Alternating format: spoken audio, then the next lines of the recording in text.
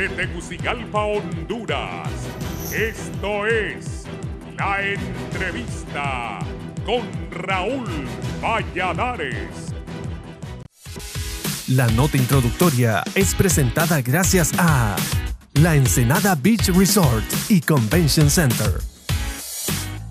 El escándalo y el rubor que rodean el caso de una niña de 10 años de edad que dio a luz a un bebé que falleció de insuficiencia respiratoria en el Hospital Mario Catarino Rivas de San Pedro Sula esconde el drama de posible abuso y falta de educación sexual en amplios sectores sociales del país. Honduras es el segundo país de América Latina con mayor índice de embarazos en adolescentes, siendo Nicaragua el primero con 109 nacimientos por cada mil mujeres. El área rural de Honduras es la zona geográfica del país donde más sucede este tipo de casos. El 35.4% de menores en situación de pobreza tienden a tener un embarazo en adolescencia. De este universo de infantes embarazadas en el principal centro asistencial del país, el 90% de ellas han sido referenciadas como casos de abusos sexuales. Además, el 29% de las niñas han pasado por preñez en algún momento de su vida, según datos del Fondo de Población de las Naciones Unidas. El gobierno hondureño y organismos internacionales han suscrito convenios para reducir la tasa de embarazos en adolescentes. Fuera de connotaciones jurídico-legales, realidades como esta exponen a la vista de todos algo subyacente en la vida cotidiana y en el imaginario colectivo dentro y fuera del país, como son la falta de valores morales y la hipocresía moralista de cuestionarlos sin llegar al fondo del problema. Esto que traemos al presente no es un hecho nuevo. Ya en julio de 2015 y luego de ser abusada sexualmente, una niña de 11 años dio a luz un varoncito que nació en el materno infantil del Hospital Escuela Universitario de la capital. La jefa de la clínica de adolescentes embarazadas, Ana Raquel Gómez, informó en aquel entonces de al menos 250 casos de menores de edad embarazadas que se registran al mes en el Hospital Escuela, mayoría comprendidas entre los 14 y 18 años de edad. De forma alarmante, Gómez precisó que en lo que va del año, 11 menores de edad comprendidas entre los 11 y 13 años de edad habían sido atendidas de partos por embarazos precoces. Aquí hay un serio problema de mentalidad, mientras se borbandea con ideas de un bien inalcanzable para andar con aparatos de telefonía de punta, la puerta de la habitación es una cortina y mientras eso perdure, las niñas se enfrentarán situaciones de abuso sexual. Referente al caso de la menor de 11 años, su corta edad la expuso a la muerte, debido a que se trató de un embarazo y parto de alto riesgo, se produjo en la primera menstruación, según las autoridades del hospital. Las cifras y dramas de los indicadores seguramente esconden la dimensión de un problema social poco retratado en política de Estado, en púlpitos y lujosos atrios religiosos más cercanos a este mundo terrenal que a construir principios y valores que de forma alarmante decaen a diario en la sociedad hondureña. Para el foro La Entrevista, Gisela Calix y Adriana Escalante. La nota introductoria fue presentada gracias a La Ensenada Beach Resort y Convention Center.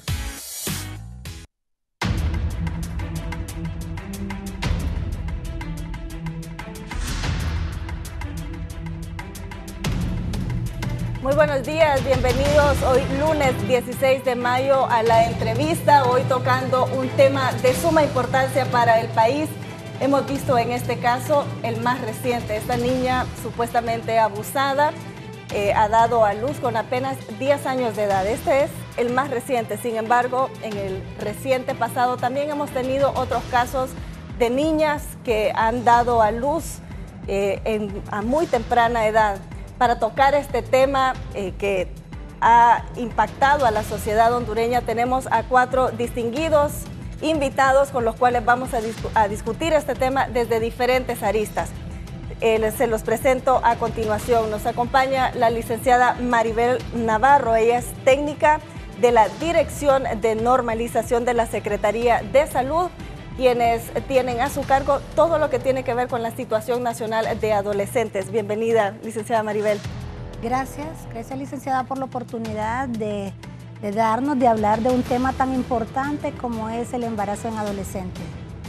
También tenemos al doctor en ginecología, el, licenciado, el doctor Juan Carlos Funes. Él trabaja en el Hospital San Felipe Con él también vamos a discutir acerca de los problemas y de los riesgos que llevan estas pequeñas niñas cuando tienen un embarazo tan precoz. Eh, buenos días, doctor. Muy buenos días, muchas gracias por la invitación y estamos aquí pues para aportar nuestras opiniones sobre este problema que es muy serio. Y de este lado, mis tocayas, dos tocayas el día de hoy. Eh, la licenciada Carla Cepeda, ella es la asesora en actividades intersectoriales de embarazos en adolescentes del Fondo de Población de Naciones Unidas, por sus siglas UNFPA. Bienvenida. Muchas gracias por esta oportunidad que para nosotros es muy valiosa poder presentar y hablar un poco sobre un tema que está impactando de manera importante a la población hondureña. Y finalmente tenemos a Carla Patricia Castro, ella es gineco-obstetra y también ella es, eh, da clases en la Universidad Nacional, trabaja en la unidad de maternidad del Hospital San Felipe. Doctora, muy buenos días, bienvenida. Muy buenos días, gracias por la oportunidad para poder eh, em, hablar a la población, ¿verdad?, sobre la, sensibilizarla sobre este tema tan importante. Mencionábamos al inicio de la nota, Honduras ocupa el segundo lugar en América Latina en estos casos de embarazos de adolescentes. Eh, Carla, en este caso, eh, Carla Cepeda, perdón, porque somos tres Carlas el día de hoy, en el caso de Naciones Unidas que tienen esta asesoría para actividades de prevención de embarazos y adolescentes. ¿Cómo lo ven ustedes a nivel global? ¿Cómo está Honduras en relación a la prevención de embarazos comparado con otros países de la región? Bueno, el país definitivamente ha, ha emprendido un trabajo coordinado e intersectorial para la prevención de embarazos en adolescentes. Eh, eso se demuestra claramente con el hecho de que Honduras tiene un plan multisectorial para la prevención de embarazo en adolescentes que pretende que todos los sectores de la sociedad, sean sector gobierno, organizaciones de la sociedad civil y la cooperación, se alineen y trabajen de forma armonizada en un mismo concepto de prevención de embarazo de acuerdo a la instancia que cada quien representa. De tal manera que ahí tenemos representados el sector educación, el sector salud, el sector trabajo, el sector de los operadores de justicia por el tema que se hablaba al comienzo del, abuso eh, sexual en menores. Eh, también tenemos las organizaciones de sociedad civil que han estado presentes en Honduras durante mucho tiempo trabajando en el tema de prevención y también otras organizaciones cooperantes, como es el caso de la agencia que yo represento, el Fondo de Población de Naciones Unidas, que ha apoyado al gobierno para poder emprender este plan de una manera sistemática y de una manera coordinada.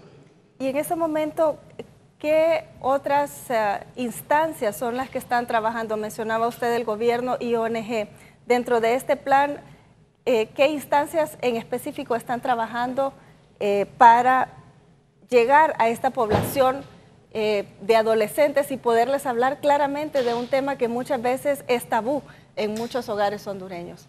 Sí, definitivamente nosotros tenemos el acompañamiento permanente y el liderazgo y abogacía del despacho de la primera dama, de la señora primera dama, que ella estaba acompañando todo este proceso y de hecho el plan multisectorial de prevención de embarazo en adolescentes fue lanzado en Honduras en octubre del 2014 por la pareja presidencial para darle un apoyo al más alto nivel político. O sea, actualmente el despacho de la primera dama, la señora primera dama con su equipo técnico está eh, fortaleciendo las acciones dedicadas a la prevención del embarazo eh, con diferentes instancias y sobre todo su rol de abogacía para poder convocar lo que es más eh, cercano a ella, que es el sector gobierno, pero también ella está vinculada con acciones que tienen que ver con otros sectores como el sector de la sociedad civil, que lo mencionamos, a través de otras estructuras de coordinación que me imagino que la licenciada Navarro va a expresar mejor, que es el tema de la mesa, de la mesa técnica de adolescentes, que es liderada por la Secretaría de Salud. Entonces, el plan de prevención de embarazo en adolescentes tiene varios espacios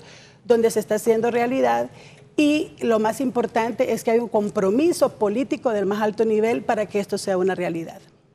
Hablando precisamente de esto, somos el segundo país en Latinoamérica, según eh, lo mencionaba nuestra compañera Diana Escalante, en tener las más altas estadísticas en embarazos de adolescentes, con todo lo que esto puede significar para la sociedad. Eh, licenciada Navarro, ustedes que trabajan justamente en estas estrategias de cómo abordar los temas y de las estadísticas. Hablemos de estos números fríos que tiene el país. ¿Cómo estamos en relación a los años anteriores? ¿Ha ido aumentando los casos? ¿Han ido disminuyendo? Eh, mencionaba en la nota que se dan en su mayor parte en la zona rural del país. ¿Esto es así? Eh, así es, realmente nosotros tenemos aproximadamente unos 50 mil casos de adolescentes embarazadas, de las cuales 45 mil reporta o registra su niño en las estadísticas vitales. En los establecimientos de salud llegan eh, aproximadamente 30 mil niños, niñas, adolescentes a tener a sus hijos y cada día se va registrando más adolescentes embarazadas. Vemos que eh, se está bajando en edad. Por ejemplo, eh, hace aproximadamente unos cuatro años que venimos reportando niñas de 10 años, de 10, 11, 12, 14 años. se va incrementando esas embarazadas en, en esa población. Realmente para nosotros, para la Secretaría de Salud, es una preocupación muy grande porque si lo vemos en cuestión de inversión, realmente nosotros estamos perdiendo dinero en atender adolescentes que deberían de estar estudiando, trabajando, haciendo otras cosas. Eh, como usted mencionaba, el, país es el segundo país de Centroamérica que ha registrado eh, esas tasas. Somos el segundo lugar. Realmente deberíamos de estar haciendo otras cosas con nuestros adolescentes, fortaleciendo, porque eso tiene mucho que ver con la pobreza. Entonces estamos replicando la pobreza. Entonces es, una, es un dato muy significativo los registros de adolescentes embarazadas que llegan a los establecimientos de salud. Ciertamente lo que usted menciona es, es triste ver a estas niñas que deberían estar jugando, deberían estar haciendo otras actividades propias de su edad de 10, 12, 13 años y no siendo madres a esta temprana edad. Fuera de lo que es lógico para todos, eh, doctor Funes, ¿cuál es el impacto físico de estos embarazos a tan temprana edad? Bueno, la verdad es que eh, nosotros no debemos desconocer una situación. Nuestras adolescentes, nuestras niñas están teniendo vida sexual activa y realmente no se ha enfocado ahí el, el problema. ¿verdad? Eh, el, gran, la gran situación es que la mayoría de estas van a tener problemas, no solamente físicos, sino que problemas emocionales, van a estar marcadas para toda la vida.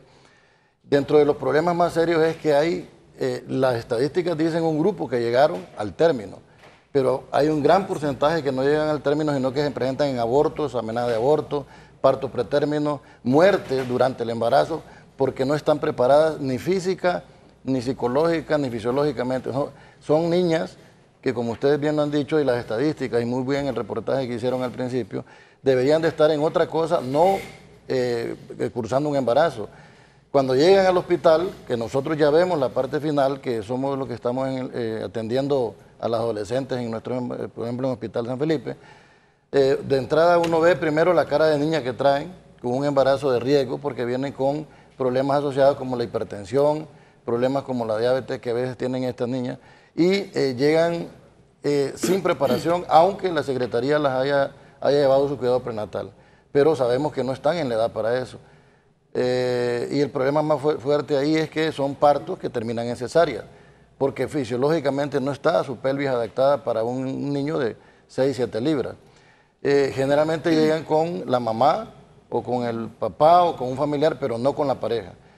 la hemorragia posparto la hipertensión y las infecciones siguen siendo las tres entidades más serias que se presentan, no solamente en adolescentes, sino que en todas, pero más en ellas. Eh, el manejo bien difícil, porque eh, no hablamos nosotros en términos económicos, sino que en términos de, de, eh, poder atender adecuadamente, porque a veces no tenemos los insumos necesarios para la atención inmediata de estas pacientes, porque no esperamos las adolescentes embarazadas sino que esperamos mayores de 20, mayores de 18 para que lleguen a, su cuidado prenatal adecuado o su parto normal. Pero lo que en, generalmente son abortos, partos pretérminos, cesáreas o eh, alteraciones de la hipertensión e infecciones que se presentan más en esta muchacha que en la población en general.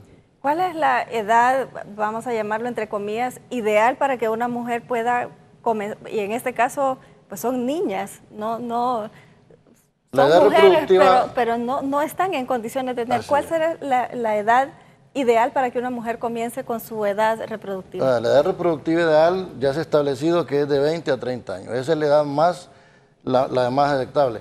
En países con educación, en países del primer mundo, la mujer se embaraza después de que ha completado su carrera, eh, eh, ya sea eh, de secundaria completa, que ya puede trabajar, que ya puede tener una entrada económica, o su carrera universitaria. Por eso tenemos embarazos en mujeres mayores de 30 años, mayores de 28 años. Pero en estos países, sí, a mí me extraña que no seamos el país con primer lugar, pues sinceramente, porque somos campeones en cosas malas, ¿verdad? Eh, deberíamos de, tener eh, primer lugar porque la educación que tenemos nosotros a ese nivel no, no la hemos aceptado. Y hay una frase que me gustó ahí que dice de, hipocresía, para que no, no enfocamos como debe ser el problema realmente. Sabemos que nuestras adolescentes, nuestras niñas están teniendo vida sexual, pero lo queremos tapar con un ojo. No enfocamos la educación en eso. ¿Cuál ha sido el éxito en otros países? Porque este problema es mundial. Lo tiene Suiza, lo, tiene, lo tuvo, lo tuvo en Estados Unidos, lo tienen los del primer mundo. Ellos se enfocaron en educar, de tener vida sexual con responsabilidad, educar a los adolescentes y decirles, si lo va a tener, hágalo, no le podemos obligar, eh, obligar, a que no lo tenga, porque desgraciadamente ni a nuestros hijos a veces nosotros podemos manejar en esa situación. Pero si los educamos usando un método anticonceptivo, eh, yendo, eh, educándolos sobre la vida reproductiva, sobre qué son las enfermedades, etcétera, los vamos a ver, porque una vez que el adolescente piensa, no lo hace.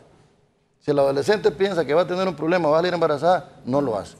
Pero si él no lo piensa, lo va a hacer porque no sabe las consecuencias o los problemas que va a tener de tener relaciones sexuales sin responsabilidad. Y lo importante si las tiene, que las tenga, pero con responsabilidad, ¿cómo? Con un método anticonceptivo, un método de barrera como el condón, etcétera, para que él pueda disminuir el riesgo de un embarazo y una muerte prematura con un embarazo. No solo la enfermedad de transmisión sexual, se mueren más por embarazo en adolescentes que por enfermedad de transmisión sexual. Bien, un tema que usted mencionaba y está directamente relacionado con esto, eh, doctor, es justamente la falta de, de, educación. En Europa inclusive las tasas de natalidad han decrecido y son los están llamando ya continentes viejos precisamente porque las mujeres están esperando mucho más tiempo para tener su primer hijo y estamos hablando de 30, 35, casi 40 años cuando empiezan a tener sus primeros hijos.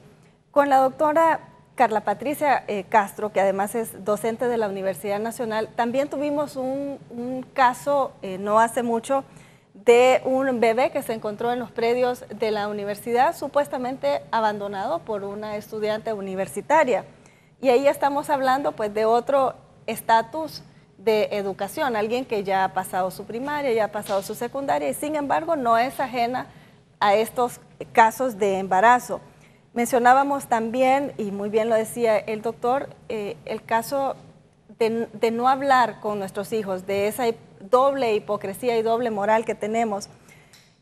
Eh, doctora Castro, ¿qué podemos aconsejarle a los padres de familia? No siempre es un tema fácil de tratar de padre a hijo y como mencionaba el doctor, a veces es más fácil taparlo que hablar directamente con nuestros hijos, sobre todo cuando empiezan a esa edad, a los 10, 11 años, a hacernos preguntas difíciles. ¿Cuál sería el abordaje? Bueno, eh, es bien importante, ¿verdad?, que en el tema de embarazo en adolescentes han habido muchos avances, ¿verdad? Y, hay, aún así hay muchos desafíos. Y uno de los desafíos es precisamente trabajar con padres de familia. Eh, en eso ya vemos que tiene que haber un sinergismo entre salud y educación.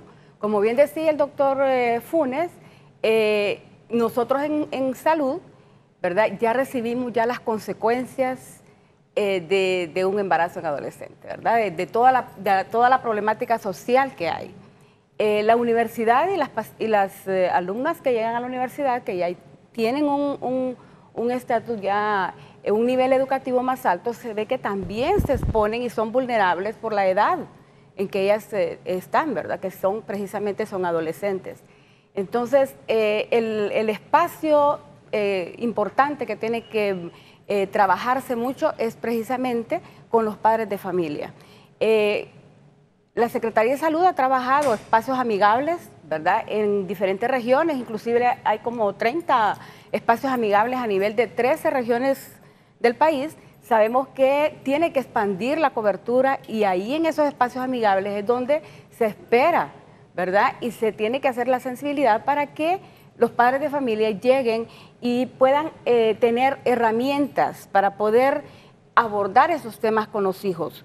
Y muchas veces ese problema solamente lo dejan en su casa y como es un tema tabú, ¿verdad? Ellos no, ellas no quieren, les parece que el problema solo lo tienen ellos, ¿verdad? Y, y solo lo hablan con su adolescente.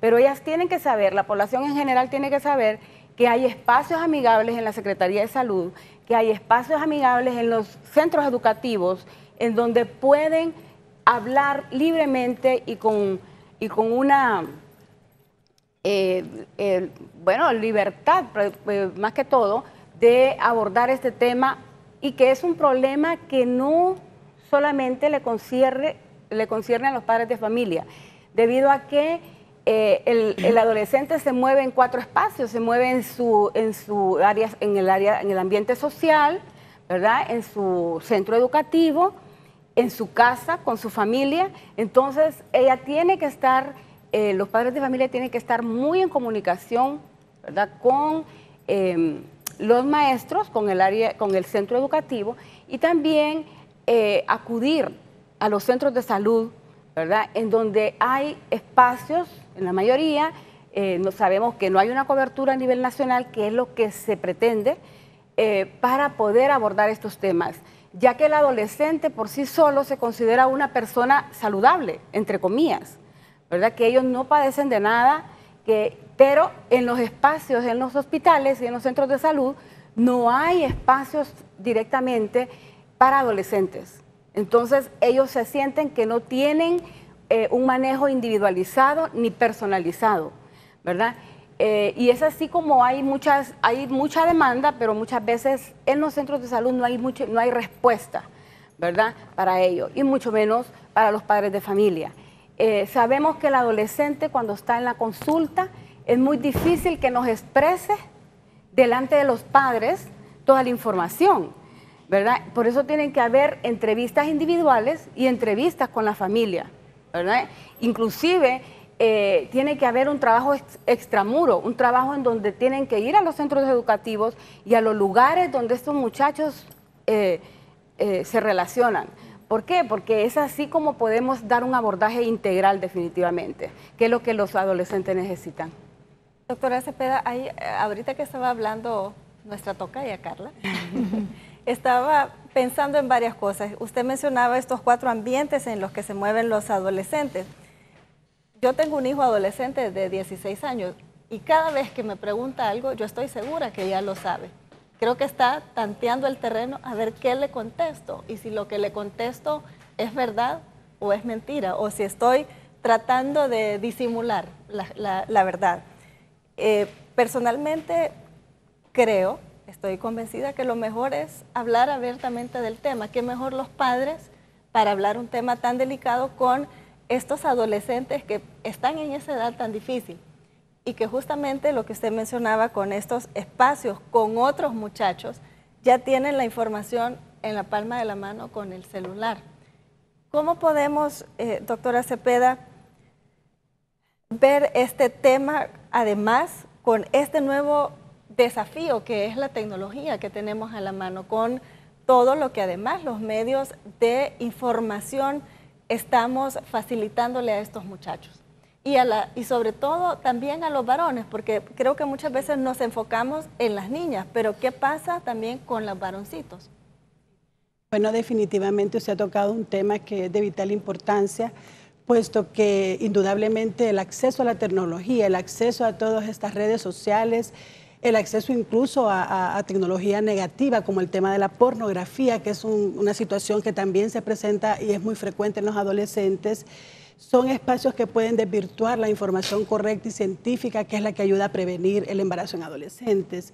Eh, lo que hablaba la doctora Castro me parece muy importante porque nosotros como país hemos emprendido un trabajo a través de este plan multisectorial que también tiene un enfoque que le llamamos socioecológico, de tal manera que no abordamos al adolescente eh, al varón o a la niña de forma individual, sino que lo hacemos en una lógica de individuo, familia, comunidad y sociedad dado que sabemos y reconocemos que abordar a un adolescente por sí mismo no le va a garantizar a él poder tomar las medidas de prevención.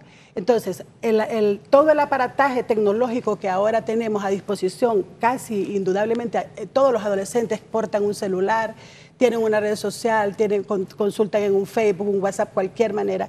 Es una oportunidad que se nos presenta a los que trabajamos en estos temas para poder utilizar estos medios también para el tema de prevención.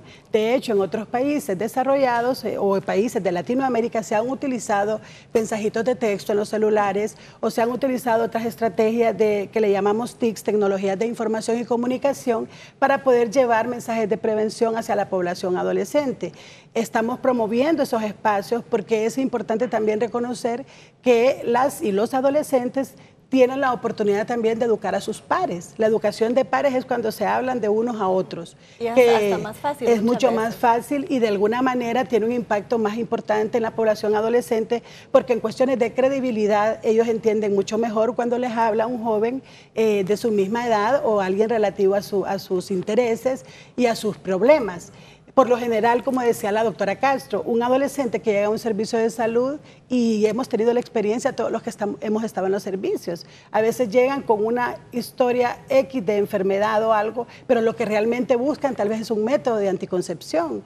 Y también se sienten ellos un poco inhibidos porque la sociedad ha actuado, como ya lo mencionamos, con una doble moral, en donde al adolescente, como en el caso de la de 10 años, que salió embarazada y tuvo su bebé en el hospital, se le brindaron las oportunidades para que ella pudiera tener su parto hospitalario y para darle la prevención de un segundo embarazo, porque esa es la responsabilidad del sector salud, de prevenir que esta niña de 10 años, en otro año, a los 11, no tenga otro bebé.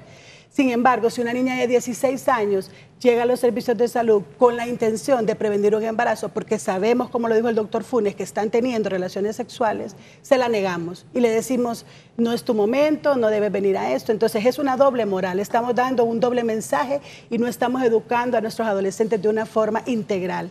Y sucede igual, como usted lo mencionaba, con los niños y las niñas, con varones y mujeres. El tema de género, el tema de cómo enfocamos el derecho de los adolescentes, que no es negociable. Los adolescentes y nosotros la única diferencia que tienen es cronológica. Ellos son sujetos de derecho y por tanto nosotros como país hemos visto que la Convención de los Derechos del Niño nos ha mandado en tres informes consecutivos el reclamo de que Honduras sigue teniendo tasas de embarazo en adolescentes muy altas. Por tanto nosotros como país debemos de invertir en adolescentes para, poder, para lograr realmente esta disminución de la prevención. Quizás el tema tecnológico, eh, nosotros no le hemos sacado el partido que podría tener, porque más bien los que están, eh, diríamos, tomando el tema tecnológico para poderse informar por el mismo temor que les da llegar a sus padres o madres o a sus docentes o a, sus, a las personas del sector salud son los adolescentes, pero no tenemos garantía de que lo que ellos consulten ahí sea lo adecuado. Lo adecuado y a lo veces, correcto. Lo correcto, porque como, le, como usted lo mencionaba, pueden tener acceso a una página de pornografía que más bien les va a distorsionar lo que es la idea de una sexualidad sana. Y me gustó eso que dijo el doctor Funes, el tema es una sexualidad saludable, porque no podemos pretender que si un adolescente está teniendo vida sexual activa, ya no le vamos a decir eh, a, la, a la muchachita el mensaje que usaríamos como con los adolescentes que son de 15 o menos que tratamos de postergar su primera relación sexual. Obviamente no queremos que se inicien tempranamente, pero si a la niña inició sexualmente, le tenemos que dar la oportunidad. Y es ahí donde entramos todos a jugar un rol muy importante. El sector salud sobre todo, a brindarle acceso a métodos, porque aparte de la educación, que es vital y que nosotros en el país hemos logrado avanzar grandemente, dado que ya institucionalizamos la educación integral de la sexualidad, yo quiero dar eso como un eh, mensaje muy importante porque realmente la, la, la, institucionalización de la educación integral de la sexualidad ya es una realidad en Honduras. Ya los docentes tienen herramientas para poder dar educación integral de la sexualidad en las escuelas. Y para nosotros eso es un avance grande que hemos logrado a través de este trabajo conjunto, intersectorial, con los sectores, como decía la doctora Castro, salud y educación como pioneros y prioritarios, como pilares prioritarios, pero no desconociendo el rol que tienen otros sectores, como es el sector trabajo, el sector de los operadores de justicia y los sectores de, de desarrollo, incluso de actividades recreativas para los adolescentes, porque también ellos están en una etapa de su vida en donde los espacios para recrearse y para tener actividades lúdicas y de, y de poder compartir con sus, con sus otros pares son muy importantes. Con esto eh, que mencionaba de las actividades de recreación, tendría que preguntarle a la licenciada Navarro dos cosas. Uno, el impacto, si han medido ustedes el impacto de las campañas que han hecho eh, para los adolescentes, en qué etapa nos encontramos ahora y antes y qué esperan ustedes a futuro. Y en seguimiento a lo que mencionaba eh, la doctora Cepeda sobre estos espacios de recreación, ¿han medido ustedes la influencia que tiene el ambiente de violencia en el que nos, nos desenvolvemos? ¿Tiene que ver eso algo con que los adolescentes se encuentren confinados también en espacios en los que eh, quizás por influencia de los adultos tampoco los dejamos salir por miedo a que les pase, les pase algo? Eh, con, la campaña, con, los eh, resultados de esta campaña, ¿qué nos podría decir? Bueno, realmente nosotros eh, en ese proceso de trabajo intersectorial venimos empezando a trabajar en, un marco intersectorial. Hemos desarrollado campañas, sin embargo, las campañas a veces son en, algunos lugares reducidos. Por ejemplo, ahorita hay departamentos que están priorizando eh, sin embargo, la situación es nacional. Hay departamentos como, gracias a Dios, Colón, Copán, Olancho, eh, Lempira, que tienen un gran número de adolescentes embarazadas. Sin embargo, hay departamentos como Cotepeque y Valle, que son los departamentos que tienen menos embarazadas. ¿Y a qué se debe? Uno tiene que también analizar cuál es la situación que está pasando. Por ejemplo, en los departamentos de mayor eh, incidencia de embarazos, se da que hay una relación entre violencia y embarazo en adolescente. Los embarazos en adolescentes se dan en un gran porcentaje por abusos. El Código Penal dice que todo embarazo menor de, 14 años es una violación. ¿Y qué pasa? Las adolescentes están teniendo hijos de personas mayores que, que que ellas, que les duplica la edad. Pero eh, también eh, legalmente se debería de actuar de oficio. Como ya lo mencionaba la doctora, el, problema es intersectorial y tenemos que tener un abordaje intersectorial. La Secretaría de Salud, para dar respuesta, eh, tiene lo que es la Estrategia Nacional de Prevención de Embarazos en Adolescentes. Este es un instrumento que le da líneas a todos los niveles para eh, saber cómo abordar la situación. También eh, nos amparamos en el plan multisectorial que muy atinadamente lo em, apadrina la, primera dama, la pareja presidencial. Nosotros estamos trabajando eh, en esto. Los impactos tal vez se van a ver a más largo tiempo, pero eh, realmente esto es un trabajo que se debe de, hacerse desde la persona, desde la familia, desde eh, las instituciones educativas, el, sector salud, todos los sectores. Eh, la familia tiene que abordar el tema de la educación sexual. Ya la Secretaría de Salud, como bien lo mencionaba la, la doctora Carla, lo está haciendo a través de la plataforma virtual que está capacitando a los maestros nosotros desde Secretaría de Salud también estamos capacitando a maestros, eh, padres de familia con, em, o sea, con un trabajo muy de cerca. Tenemos también la mesa intersectorial, eh, la mesa técnica de trabajo con adolescentes que está representada por 21 organizaciones que venimos desarrollando varias, varias actividades. Eh, actualmente estamos haciendo las ferias. yo les explicaba que hay algunos meses donde se incrementa el embarazo. Por ejemplo, tenemos diciembre y septiembre. Y eso nos hace hacer un análisis que mientras los alumnos no están en la escuela, eh, esto es un factor de riesgo, el hecho de no estar en la escuela. Por eso eh, pensamos que los 200 días de clase son, eh, son una estrategia muy buena, porque la escuela es un factor protector. Los alumnos deben de estar en la escuela los padres de familias tienen que hablar de educación sexual desde que nacen para que hablar con naturalidad, ¿verdad? Porque la comunicación es muy importante. ¿Quiénes son las que se embarazan? Las que se embarazan son las de los estratos pobres, las que tienen una muy baja comunicación con sus familias, las que no están informadas sobre la sexualidad, no están informadas sobre métodos y como bien lo decía el doctor Funes, en los países pobres se inician temprano en relaciones sexuales y tempranamente tienen hijos. En cambio, en los de quintiles más, más altos, eh, postergan sus relaciones sexuales si ellas reciben educación sexual.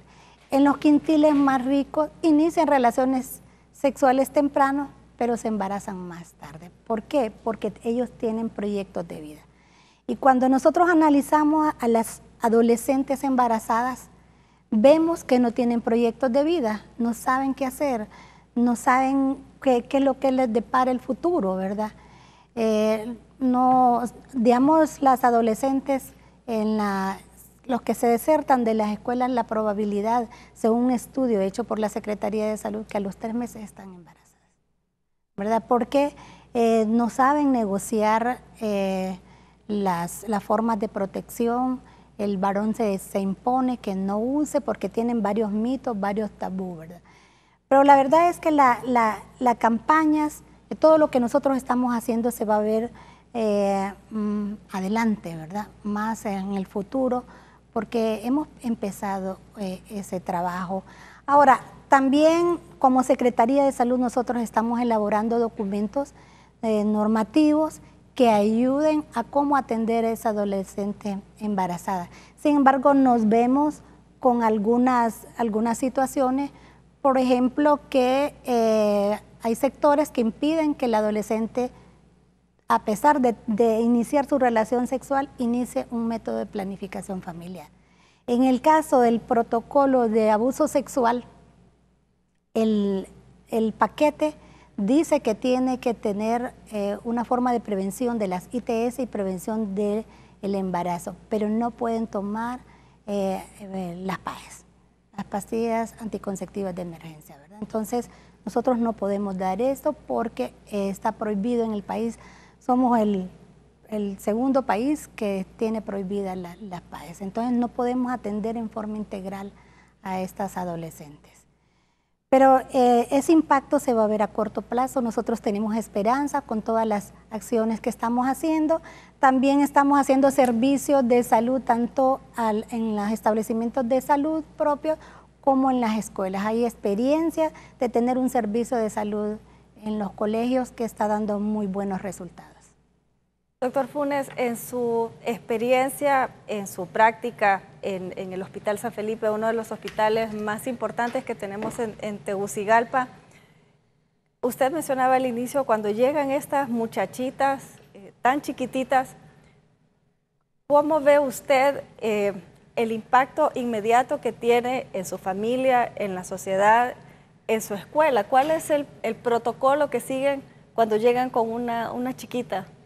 con un embarazo temprano? Eh, desgraciadamente nosotros ya recibimos el producto prácticamente ya el problema, el, paquete. ya el paquete, a desenvolver el paquete, porque no sabemos realmente cómo ha sido la vida anterior de esta muchacha, solo ya recibimos, porque es un, es un hospital, de, es un paridero, pues llegan a parir. Una vez que llegan ahí, nosotros las atendemos, las recibimos y lo que hacemos pues es eh, darle la mejor atención posible. En nuestro servicio, las enfermeras están muy bien educadas para atender este tipo de personas porque tenemos un porcentaje más o menos del 30-34% de adolescentes y de prepúberes y púberes embarazadas, porque hablando de adolescentes estamos hablando de 15 a 19 años, pero dejamos abajo todas las de 14, todas las de 12, todas las de 10, y el caso grande que tuvimos en Tegucigalpa, que no se acuerdan ustedes, hace como 5 o 6 años, una paisana en Tibucá de 8 años vino preñada al hospital de escuela, se le hizo una edad porque tuvo, entre comillas, una, una, pubertad precoz. Pero de esas hay un montón. Acordémonos que socialmente es aceptado en el interior del país que una niña de 15, 16 años ya tenga esposo, ya tenga marido, ya puede tener relaciones, ya puede parir. Una vez que menstrua ya puede parir. Y como decía la licenciada, no hay un futuro, porque a estas niñas no se les enseña que estudiando van a salir adelante. Solo que si tienen un hijo, pues van a tener una salida, van a tener un hogar y alguien que la mantenga, etcétera. El problema cuando llegan de nosotros es que realmente no podemos lidiar con el problema psicológico. Y a veces no aceptamos que la muchachita llegue llorando, llegue gritando, que no acepte que nosotros la vamos a tener, porque ella no sabe ni siquiera cómo sentarse, cómo acostarse en la camilla, cómo parir en el momento que está haciendo, a veces no tenemos la educación adecuada o a veces ella no acepta las recomendaciones que nosotros le damos para poder llegar al parto y muchas veces termina en una cesárea eh, por eh, distosia, por problemas del parto difícil, que es un riesgo mayor que le lleva. Entonces sale del hospital con una herida, que muchas veces no es cuidada, a los 10 días regresa infectada, que es otro problema serio, y no le brindamos una educación adecuada para que continúe su planificación, porque invariablemente, ya lo tenemos nosotros establecido, en uno o dos años viene con otro embarazo. Tenemos adolescentes de 19 con tres partos. El caso máximo, una muchacha iba a cumplir los 20 y había tenido cuatro embarazos anteriores, iba a parir su quinto embarazo. En una situación triste realmente para una chiquita de 20 años. Ajá, y, lo más triste es que hasta ahorita que se está legislando el hecho de que si uno no cumple va preso o, lo, van a, a, penar, son madres de cuatro hijos de cuatro padres diferentes. Y eso es una realidad nuestra. ¿Y cuál es el problema? Porque no nos estamos enfocando en enseñarles a que si va a tener relaciones, que se cuide. ¿Verdad? Tenemos que educar a la familia, por eso, estas son hijas que no tienen papá. Son madres de madres solteras, la mayoría. Usted mira a la muchacha adolescente, invariablemente la mamá tiene 28, 29 años. También la mamá fue una madre adolescente. ¿Y por qué? Y la misma señora le dice, a mí nadie me explicó, y eso es un pretexto que a veces no es válido, pero muchas veces tienen razón. Yo felicito en día a la Secretaría y a la Presidencia que está haciendo trabajo actual y que probablemente miremos los frutos tempranos, ojalá Dios quiera porque es un caos en este país, aparte de todos los problemas sociales que tenemos, madres solteras, que usted las va a ver pidiendo o trabajando de cosas que no son, que tienen 14, 15, 16 años, que ya con dos hijos. Eh, bueno, aquí en Tegucigalpa yo recuerdo el caso de una niña eh, muy bonita, la muchachita que estaba con su madre eh, pidiendo en el Boulevard Francia, que es el que está entre los bancos y el IPREMA, y recuerdo porque eh, la escuela de mi hijo queda muy cercana yo tenía que pasar por ahí siempre y siempre la miraba, la chiquita con su mamá.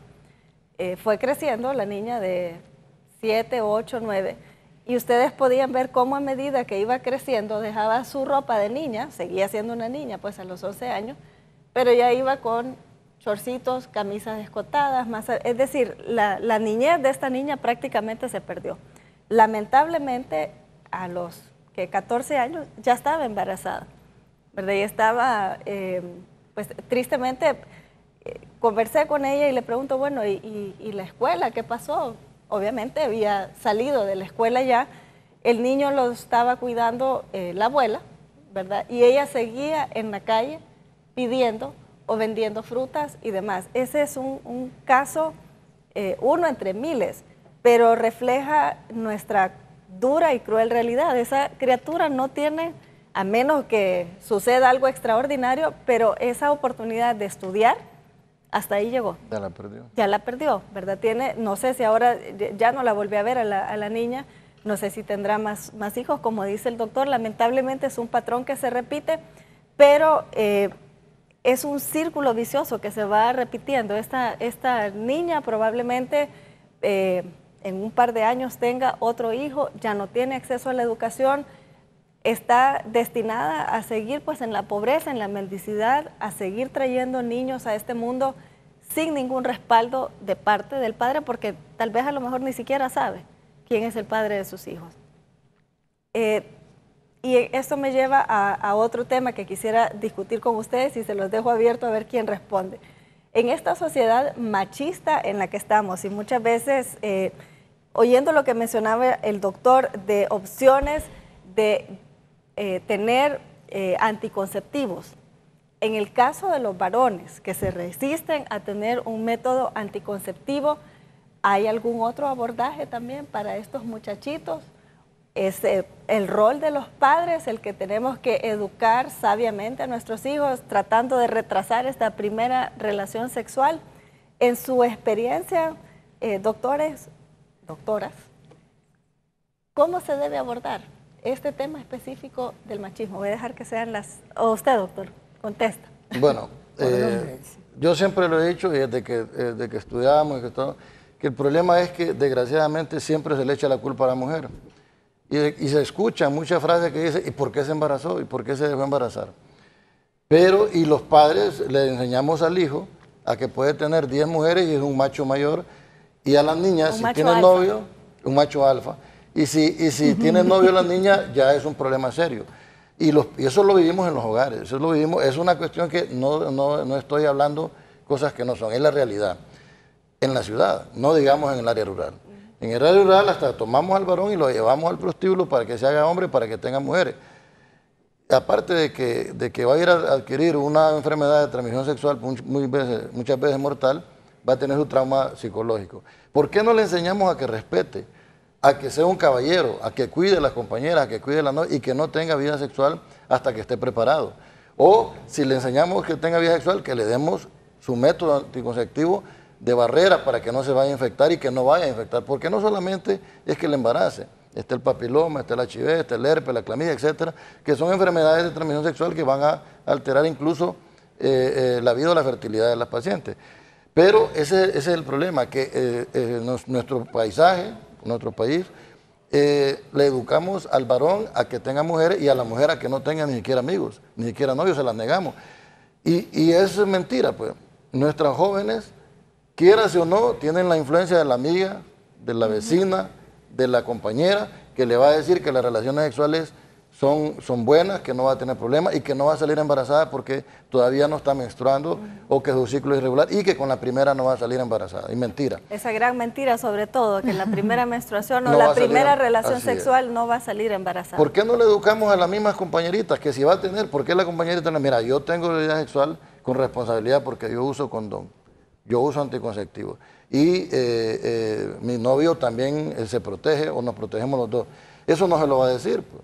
¿Por qué? Porque no, le conviene muchas veces el mismo egoísmo, la misma situación. La educación tiene que enfocarse en la gente en general, no solamente en la familia. En otros países, miren, en, América del Sur, usted va a los baños, están los condones, están los anticonceptivos. ¿Por qué aquí no lo podemos hacer? Porque aquí somos más papistas que el Papa. Si eso se pone, bueno, en primer lugar lo roban. En segundo lugar, ya va a haber la crítica, los periódicos, las radios van a empezar a decir, a salir un montón de gente, que por qué estamos haciendo eso, fomentando la, vida sexual. No es cierto. Tenemos que hacer un enfoque real de eso. Ya lo dije, están teniendo, y si no miremoslo en nuestro hospital, en nuestras estadísticas, lo dicen, somos el segundo lugar con adolescentes. Entonces, ¿qué significa? Que están teniendo relaciones sexuales. Ya no podemos llegar a decir, no están haciendo esto. Y si lo están haciendo, pues entonces jóvenes, háganlo bien este es el proceso. La Secretaría de Salud, la Secretaría de Educación los va a apoyar para que ustedes no se sientan mal y lo van a hacer bien. A los padres, ¿cuál es la queja de los profesores? Los profesores dicen en los pueblos, yo quise dar educación sexual y el, comité de padres de familia me censuró y me quiere sacar del pueblo. Pero si llegara a la Secretaría de Salud un representante o un representante de la Secretaría de Educación a la sesión de los padres de familia, dijeran, está avalado, el profesor está avalado por nosotros.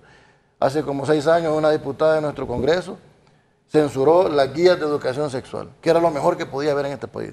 Guías aprobadas en otros países, hechas no aquí, sino que en otros países, en otras latitudes, para nosotros. Fueron una censura terrible, porque se opuso, no quiero decir quién más porque puede entrar a problemas, pero fueron censuradas. Estuviéramos mejor, realmente estuviéramos mejor, pero nosotros siempre llegamos a la última, al progreso. Ojalá que hoy, hoy en día, y con estos foros, con esto, nosotros cambiemos la mentalidad de nuestra gente y, y lleguemos a progreso. Ya es tiempo que, que demos un paso, que, que no solamente se nos mire en el mundo como el después de Haití o antes que o, primero que Haití. No, hombre, ya es tiempo que nosotros salgamos adelante a nivel eh, de, todo, de, toda nuestra situación económica, educacional y mejorar la situación de nuestra gente. Pero hay, hay varios temas, no sé si usted quiere, doctora, eh, antes de ir a la pausa em, comercial mencionar eh, lo importante que es eh, las únicas dos estrategias que tenemos nosotros en el país, en vista de que es uno de los países donde tenemos una legislación restrictiva, ¿verdad? Como ser el estar prohibida la comercialización y la venta, e inclusive la educación sobre píldoras de anticonceptiva de emergencia, el único país a nivel latinoamericano. Y también el hecho de no tener acceso, pues, eh, eh, bueno, que, el, aborto, inclusive el aborto eh, terapéutico sea, sea prohibido. Entonces, nos queda solamente dos líneas estratégicas, como ser la educación en salud sexual y reproductiva y también los insumos en anticoncepción, ¿verdad? No solamente dar la educación, sino que dar el insumo, porque de nada nos sirve a nosotros en los centros de salud si darle toda la gama todas las alternativas que hay para anticoncepción a, los adolescentes, a, los pacientes, a las pacientes, si no tenemos el insumo. Y otra cuestión es cómo eh, inclusive hay problemas con los padres de familia para darle anticoncepción a, los, a las adolescentes, ¿verdad? Eh, tenemos leyes, eh, ¿verdad? Las leyes deberían, nos, nos, respaldan, hay convenios internacionales, hay convenios nacionales que nos respaldan para nosotros los médicos para poderles dar a las adolescentes anticoncepción, pero no lo hacemos. Muchas veces hay tabú y hay, eh, mm, muchas veces eh, los médicos anteponen sus creencias religiosas, ¿verdad? Y sus principios o su, podríamos decir muchas veces hasta falta de conocimiento de estas leyes para eh, darle estas, estos insumos a las adolescentes y también la falta de educación en salud sexual y reproductiva a los padres de familia que siguen cometiendo los mismos errores que tal vez cometieron con ellos, sus padres, ¿verdad? Entonces, ¿qué pasa? Quieren llegar a la consulta acompañando a los hijos. Los hijos jamás van a decir que tienen relación sexual delante de la mamá o delante del papá. Jamás. Y el sistema, el, el sistema de salud nos obliga también a que esté el tutor o el padre de familia a la hora de la consulta. Entonces, hay una, hay una disyuntiva terrible y digo yo, hay doble moral en el sentido de que si este médico o si esta, o esta mamá, ¿verdad?, tuviera una hija embarazada, creo que sí buscaría, le ofrecería esta píldora de emergencia que está prohibida, digo yo, ¿verdad? Le ofrecería todo, pero ¿por qué tratar ya el problema? Mejor prevenirlo. Y esa debe ser nuestra, nuestro trabajo, prevención. Y la única forma de prevenir esto es educación en todos los niveles, educación en salud sexual y reproductiva, hablarle con franqueza al adolescente de todas las causas, las consecuencias que tiene un embarazo y, luego proveerle los insumos, ¿verdad?, anticonceptivos.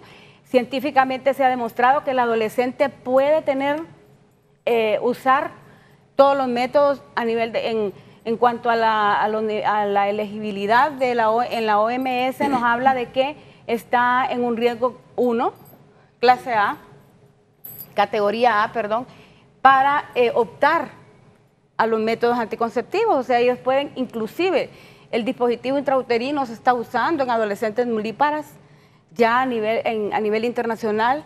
Y inclusive y nosotros aquí en Honduras estamos todavía empezando a querer quitar de la mentalidad de los médicos esa, esa, ese tabú, ¿verdad?, de no usar este método en adolescentes nulíparas, siempre y cuando, ¿verdad?, teniendo conocimiento del entorno social y todo el entorno, eh, ¿verdad?, en que vive la, adolescente. Entonces, eh, creo que, que, allí hemos fallado, los padres de familia creen, eh, quieren tapar el sol con un dedo, ¿verdad?, y no quieren darse cuenta de la realidad que viven nuestros adolescentes. Eh, nuestros adolescentes se están siendo bombardeados a nivel de, todos los medios de comunicación, el internet, ¿verdad? Ya no tienen eh, el no hay barreras prácticamente. Ya no hay barreras libres, ¿verdad? Ya ellos eh, tienen acceso a toda la información, pero desgraciadamente no hay informaciones científicas que los pueden educar, sino que más bien a, informaciones populares, ¿verdad? Que no le llevan a ningún a ninguna resultado. ciertamente este tema es complicado de donde lo veamos. Yo como madre de familia pues me pongo en los zapatos y ya les comentaba antes qué hablar y cómo hablar con este hijo adolescente. Sigo creyendo que los papás somos los primeros llamados a educar a los hijos. Luego de la pausa comercial vamos a hablar de cosas un poco más espinosas. El rol de la iglesia, lamentablemente no tenemos hoy un representante de la iglesia, pero ciertamente ustedes lo han mencionado, todavía nuestro país tiene mucha tradición religiosa, eh, un, eh, un valladar que hay que saltar todavía mucha educación, por lo que he escuchado con ustedes, más con los padres que con los mismos adolescentes. Eh, en, ambos y muchas veces cuesta más convencernos a nosotros los padres que educar a estas criaturas que son unas esponjas, realmente absorben todo si es bien tratado y es bien orientado, como mencionaba el doctor, y no tratar y no reaccionar antes que prevenir eh, un problema. ¿Cuál es el papel también del, Ministerio Público una vez que vemos un caso de abuso, verdad? Eh, ¿Cuál es el seguimiento que se le da? Todos estos temas al volver de la pausa comercial en breves instantes. Ya volvemos con más de la entrevista con Raúl Valladares.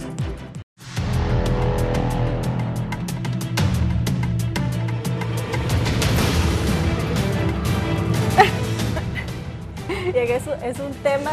Eh, es un tema interesante, la verdad que es un tema intenso eh, lo que estamos tratando.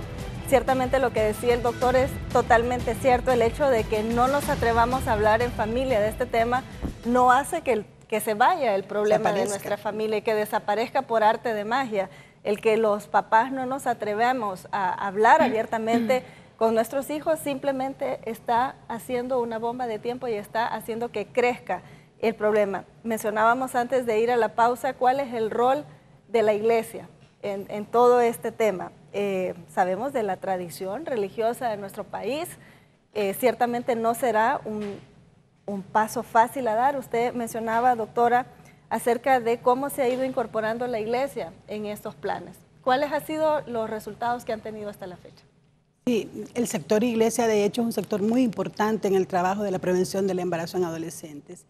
Indudablemente el sector de iglesia eh, tiene su rol fundamental y su mística institucional para trabajar, lo que implica que ellos pueden, pueden trabajar con los jóvenes en sus pastorales juveniles, o en sus grupos de jóvenes eh, de, los cultos de la iglesia evangélica que también tienen trabajo de, de acompañamiento a los jóvenes en lo que es la promoción de, todo lo que es los valores, la parte de, postergación de la primera relación sexual. O sea, la iglesia no es un sector que debe de estar aislado de este trabajo, todo lo contrario.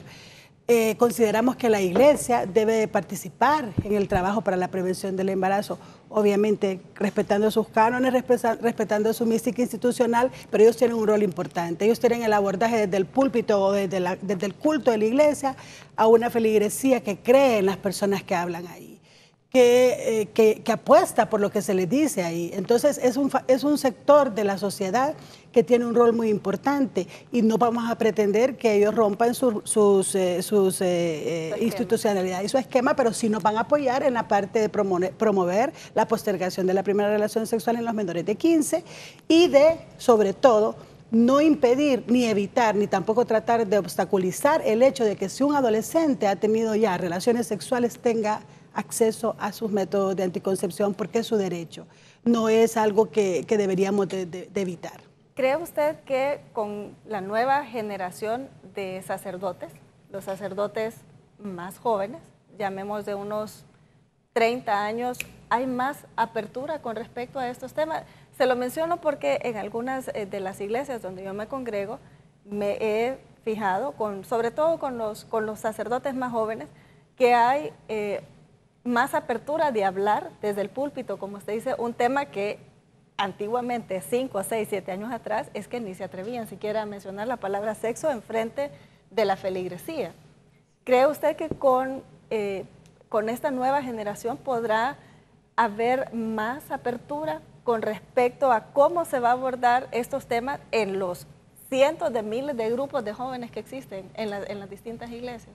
Sí, de hecho, eh, el tema de apertura nace más que de, la, más que de este grupo de sacerdotes jóvenes que usted menciona que sí están muy anuentes a poder orientar a los jóvenes y, y apoyarles en consejerías y trabajos directos con los jóvenes tenemos ya lo que es el mandato en el caso de la Iglesia Católica de lo que es desde el nivel del papado, donde ya hay una apertura mayor a hablar de estos temas. Hemos hablado, hemos oído ya al Papa hablando de temas de sexualidad, de homosexualidad incluso de homosexualidad, cosas que no eran mencionadas hace una década de una manera no era pensable quizás que pudiera mencionarse por el sector iglesia. De igual forma, el sector de la iglesia evangélica tiene muchas eh, eh, metodologías de trabajo con los jóvenes, eh, tienen metodologías importantes, han desarrollado manuales de trabajo el tema definitivamente es un tema que cada vez están más convencidos todos los que trabajamos con los jóvenes que debe ser abordado.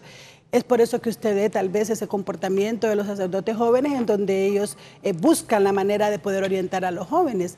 Eh, no pretendemos que la iglesia vaya a ser una distribuidora de métodos de anticoncepción en el caso de la iglesia católica. No pretendemos que la iglesia vaya, a ser eh, una promotora de los métodos. Sin embargo, sí pretendemos que la iglesia se incorpore y apoye las acciones de prevención en el rol que ellos desempeñan en educar a los jóvenes, en seguir promoviendo valores, en seguir promoviendo la postergación de la iniciación sexual, que obviamente nosotros no queremos que menores de 15 se inicien porque todavía no tienen la madurez ni tampoco tienen la capacidad para tomar decisiones de llevar una sexualidad saludable, ¿verdad? De tener relaciones sexuales saludablemente.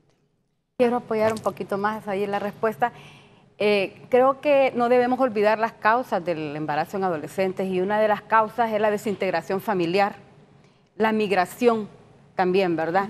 Son dos temas álgidos y son dos temas que muchas veces eh, he escuchado hasta presidentes decir, ¿verdad?, de que el, el, futuro de Honduras está en las remesas que mandan de España, que mandan de Estados Unidos, pero yo atrás de todas esas remesas hay una historia, atrás de todas esas remesas que mandan de Estados Unidos y de España. Hay una familia. Hay una familia, hay hijos llorando, hay hijos sufriendo que están en una desintegración familiar. Hay abuelas criando niños, ¿verdad? Eh, porque sus, ambos padres se han, migrado por la situación que está en el, país. Tanto la y la violencia, ¿verdad? Con respecto a eso, eh, doctora, precisamente era mi, mi, otra consulta y qué bueno que tocó el tema. Era eh, con los roles que ya no están jugando los padres de familia, que precisamente esa, eh, ese rol fundamental y esa responsabilidad ha caído en otros miembros de la familia y eso conlleva al siguiente tema, al abuso infantil y que está ahí vedado, que no, lo tocamos, pero eh, como decía eh, el doctor y la licenciada, ahí están. Simplemente es que hemos tratado de poner un manto sobre, sobre ese tema eh, y no nos atrevemos a hablarlo. Ciertamente en el campo debe pasar mucho, hay, mucha inmigración eh, del campo, pero también en la ciudad. Y ese quebrar esa familia y quitarle a los padres la responsabilidad de criar a sus hijos es en lo que se está reflejando ahora estos abusos y también esta, eh, tener relaciones sexuales a tan temprana edad. Sí, eso es muy importante porque sí se ha visto que marca ¿verdad? La historia en un adolescente, el hecho de no tener un adulto de referencia en su familia, ¿verdad? En su núcleo familiar. Y, tiene, es lo que constituye las familias disfuncionales que se habla, ¿verdad? Aunque actualmente se está mencionando que el término de familias disfuncionales no es eh, el hecho de que, de que haya ausencia de un padre o de una madre, que es lo que nosotros hemos dicho, ¿verdad? Si, si, solo está el papá o solo la mamá o solo están los abuelos. ¿Por, qué? Porque se ha visto que hay muchas, eh, muchos adolescentes que eh, logran salir adelante aún siendo, ¿verdad?, eh, viviendo en, dentro de una familia disfuncional, entre comillas. ¿Pero por qué? Porque ese adulto referente, ese adulto que tiene responsabilidad ese adolescente, se ha puesto en la brecha de ese adolescente y ha sido una persona responsable. Pero ¿qué pasa ahora? Que eh, si, los, padres de familia, que son jóvenes muchas veces, están dejando la responsabilidad en los abuelos. Y los abuelos son jóvenes, todavía son personas eh, que, son productivas en el país, que trabajan. 50 años o tal vez Apenas tienen 30, 40 años, están trabajando todavía. Entonces, estos niños quedan con eh, otros adolescentes que los están cuidando, ¿verdad? Y, son, que son empleadas, ¿verdad? Muchas veces quedan con a cargo de empleadas jóvenes de 15 o quedan con hermanitos, mayores. o quedan solos. Entonces, no hay una... Un reto para la sociedad. es un reto, así es. es un, son grandes desafíos en donde en ese eh, es, poco lo que se le puede pedir, digamos, eh, en la parte de educación o en salud, eh, nosotros dar recomendaciones a estas niñas cuando no tienen un referente eh, eh, adulto de autoridad.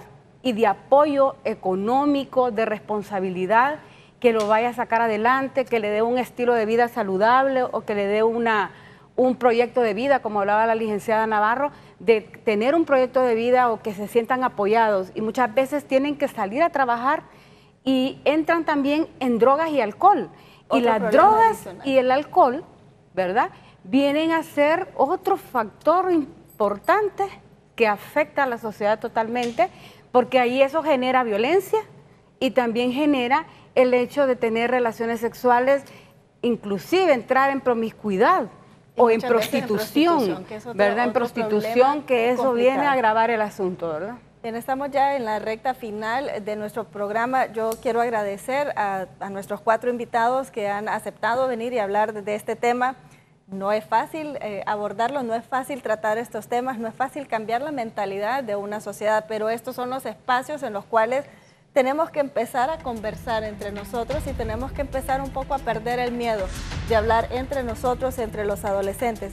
Eh, quisiera que pues, se despidieran eh, con su mensaje hacia nuestros televidentes, dónde pueden encontrar ayuda y apoyo por si hay alguna madre que sabe que su hija está en problemas o adolescentes que en este momento nos pudieran estar viendo que tienen este gran problema y a dónde se pueden abocar, licenciado. Eh, gracias.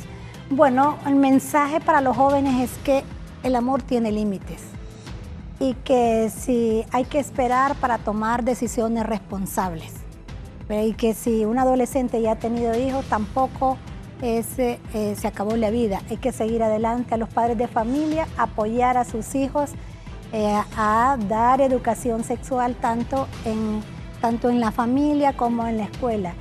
También que lleguen a los servicios de salud que tiene la Secretaría, tanto en los establecimientos propios de salud como en los establecimientos escolares y ese trabajo que debemos de tener en forma intersectorial, porque el problema de embarazo en un adolescente es un problema de todos, de los medios de comunicación, de la familia, de los jóvenes, del sector salud, de educación.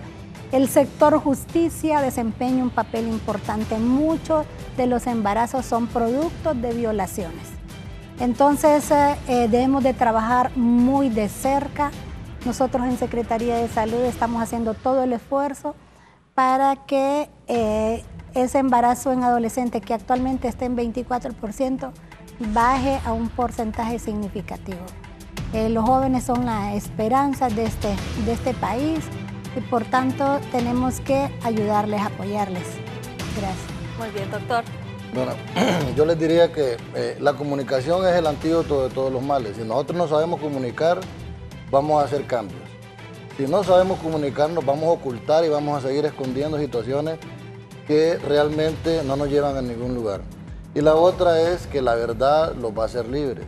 Si nosotros le hablamos con la verdad a nuestros hijos, a los adolescentes, con la verdad y no les ocultamos, eh, como ejemplo cuando nos hacen preguntas difíciles en la casa y empezamos a darles nombres diferentes a los órganos genitales, desde ahí les estamos mintiendo.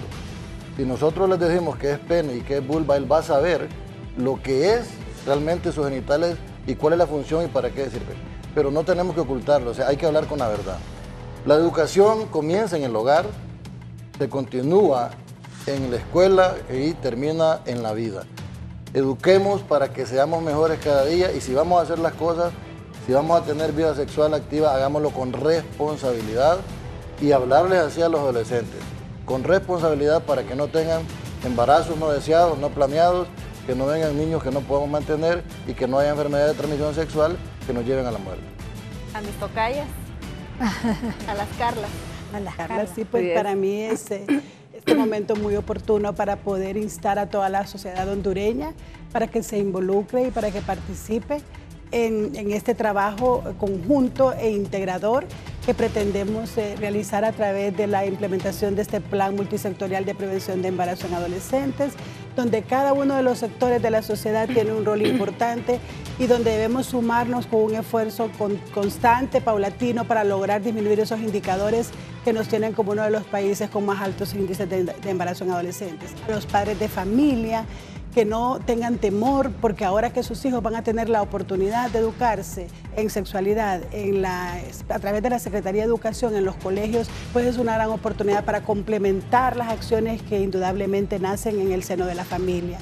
Así que todo este tema, como lo mencionaban anteriormente los que me antecedieron, es un tema de todos y tenemos que esforzarnos y eh, apostarle a que podemos disminuir el embarazo en adolescentes en Honduras. Bueno, mi mensaje final va dirigido a los padres de familia, ¿verdad? Para que ellos pues sean educados y, adquieran conocimiento y la capacidad, ¿verdad? Para eh, poder resolver los conflictos de sus hijos y poder ser eh, personas eh, responsables, ¿verdad? Para tener esa capacidad de demostrar afecto. Muchas veces los hijos lo único que necesitan es amor, decirles todos los días, te amo y eres importante en mi vida.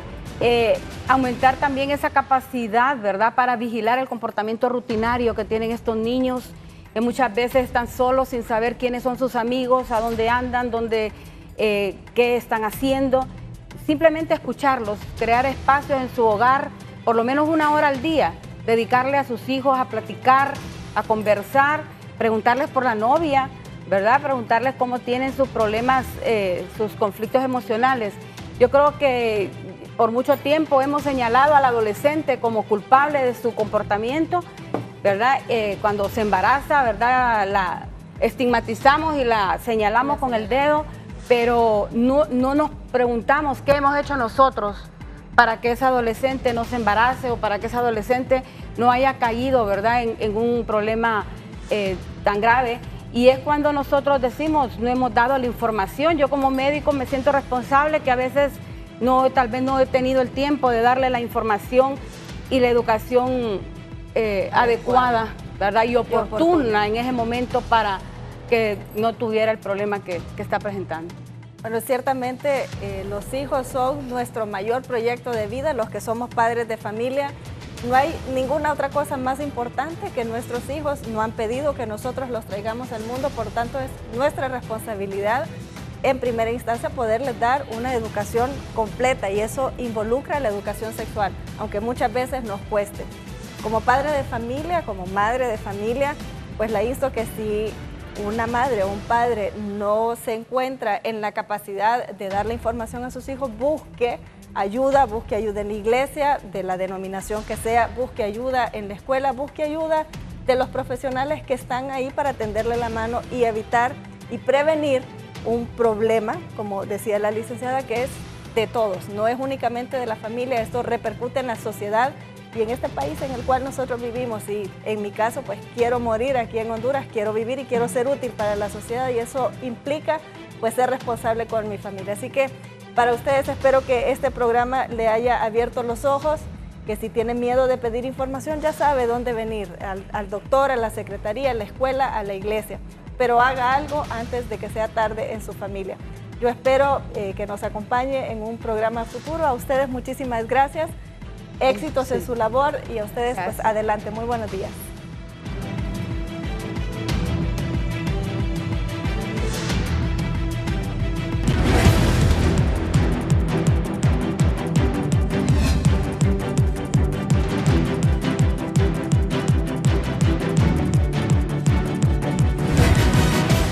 Esto fue la entrevista con Raúl Valladares.